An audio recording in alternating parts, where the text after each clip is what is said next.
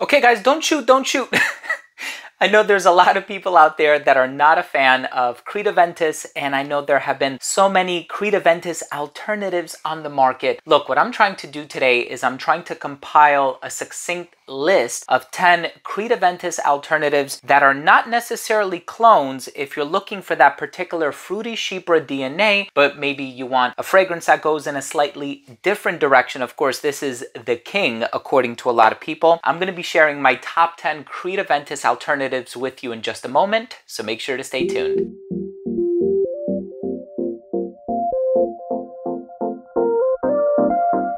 Now, before I begin today's episode and I tell you about these top 10 best Creed Aventus alternatives on the market, some might go darker, some fruitier, some soapier, some brighter, some zestier, so on and so forth. But I do want to start the video off first by saying that if you're a fan of fragrance related content, please do consider supporting the channel by subscribing to it, hit the bell, and give this video a thumbs up for the algorithm. It would really, really mean a lot to me. So, Creed Aventus is a fragrance that I personally love. I've been wearing it since 2000. 2011. I know it came out in 2010, so maybe towards the tail end of 2010 or something like that. But this is a fragrance that I've had in my collection for a very long time now. I have owned over 10 bottles, including the big flacon.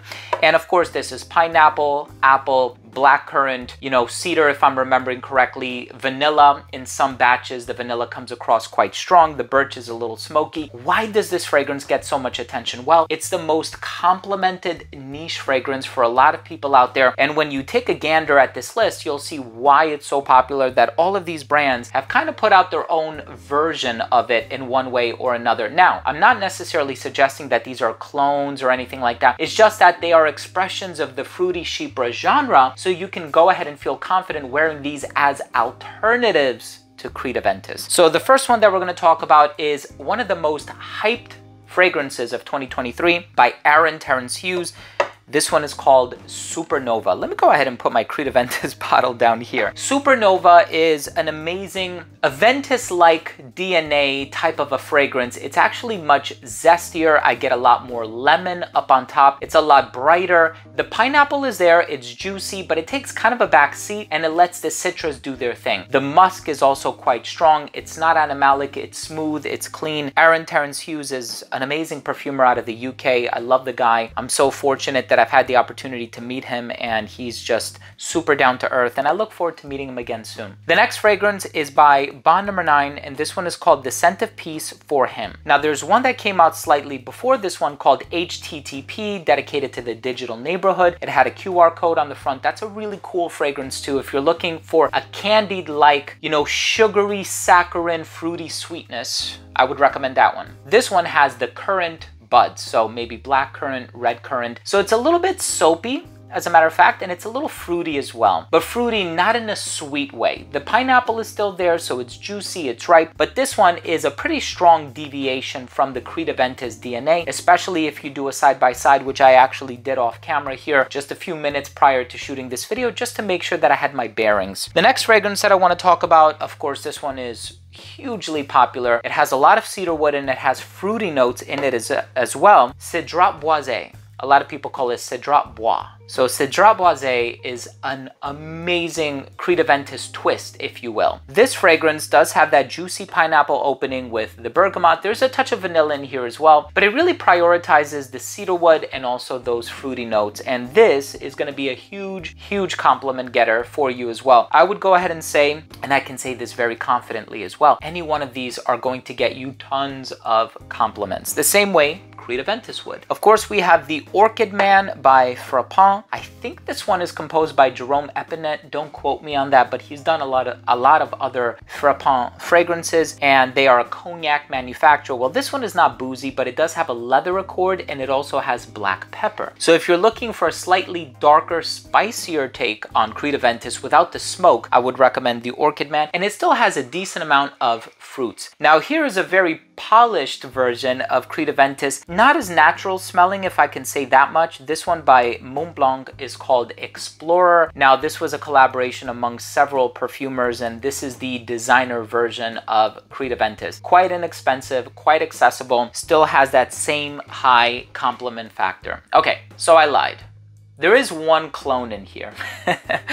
what would you guys say is the number one Creed Aventus clone? Not an inspiration, not something that utilizes the DNA differently, but an actual clone. Pause the video, drop your comment down below. What do you think is the best clone of Creed Aventus? So the one that I chose to include in this video is Club de Nuit Intense for Men by Armaf. You know how hugely popular this fragrance is. Everybody talks about it. Some people will go as far as to say it's a more lemony version of Creed Aventus. Of course, there's Al Haramain's L'Aventure. That one also gets a lot of attention. I remember way way back in the day, there was Fresco by Ilum Dean. That one also was like a deconstructed version of Aventus. It really fell flat. The performance was really poor. But Club de Nuit, Intense for Men, of course, I've had this in my collection for so many years now. This is a huge compliment getter, comes quite close to the original Creed Aventus. Now, here is a deviation. If you're looking for the darkest version of Aventus, Hacivat by Nishane. This fragrance, okay, has a lot of birch.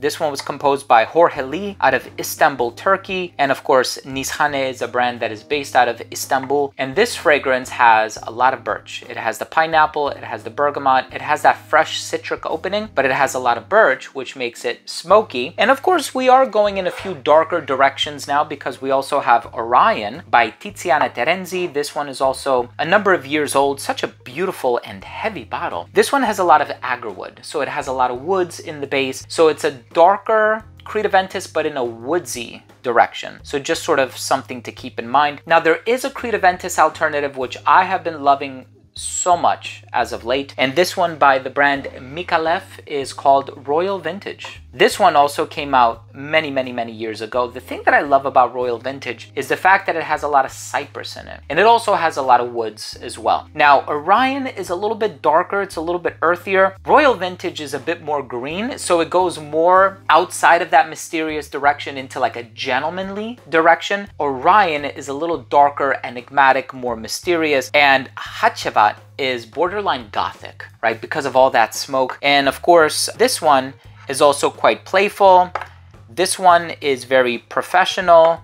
This one is very smooth and elegant, the bow tie. And I think Cedrat Boisé is pretty balanced, all things considered, and super long lasting because Mancera and Montale fragrances, their sister brands, they have a tendency of being beast mode performers. Look, the fragrance that I put in the number one spot, I think is going to serve you very well for the fall and winter. So that was my first rationale behind including it in this list and so high up in this list. Also, I do have a bit of a sweet tooth, so I like fragrances that veer in a bit of a sweeter direction. I also included this in the number one spot because, like I said, this is a list of alternatives, not clones. And I think this fragrance portrays a very strong deviation from the Creed Aventus DNA in the sense that, yes, it still has a bit of that freshness, but it has an overdose of vanilla. And it's a really sweet, decadent, warm, gourmand vanilla. I can't get enough of it. I know everybody that has tried it has fallen in love with it. You can just watch any number of reviews here on YouTube and everybody seems to sing quite high praise for this one. All the links are going to be down below, by the way. If you want to sample some of these fragrances, I don't recommend blind buys, but please get a tiny sample so you know what it's all about. By Electimuss London, it's called Imperium. So this fragrance has one of the most beautiful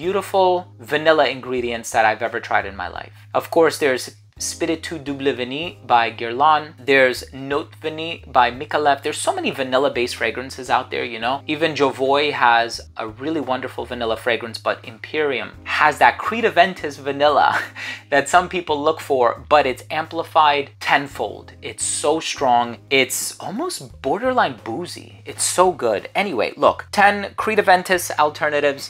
What do you think? Are you a fan of Creed Aventus? Are you like me where you had about a dozen bottles of Creed Aventus throughout the years? I know in some of these Aventus groups on Facebook, these people have like 100 bottles of Aventus. God bless you guys. Drop your comment down below. Let me know what you think. What is your number one Fruity Chypre fragrance? Or what is your number one Creed Aventus alternative? I would love to hear from you. Thanks again for watching. I hope you took something of value from today's video. I hope I gave you the opportunity to learn about a new fragrance today. If I did, why don't you go ahead and show your support by hitting that subscribe button, hit the bell, give this video a thumbs up for the algorithm. It would mean so much to me. Thank you again for watching. Love you guys. We'll see you tomorrow with a new episode. Bye.